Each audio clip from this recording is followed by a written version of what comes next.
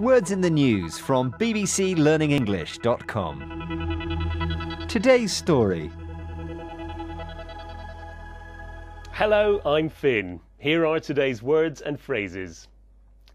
A tribute to Monarch Named after The late In line to Watch and listen to today's report. A little baby with a big name. This is Charlotte Elizabeth Diana, the daughter of the Duke and Duchess of Cambridge. Elizabeth is a tribute to her great grandmother, the British monarch. The baby was also named after her paternal grandmother, the late Princess Diana.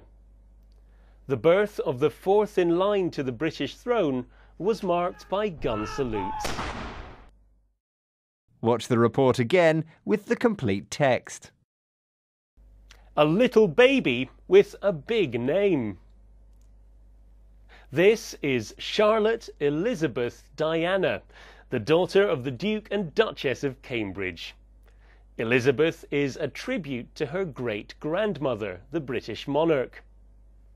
The baby was also named after her paternal grandmother, the late Princess Diana.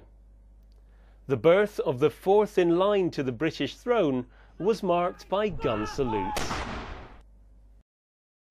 That's it from me. I'll leave you with today's words and phrases once again.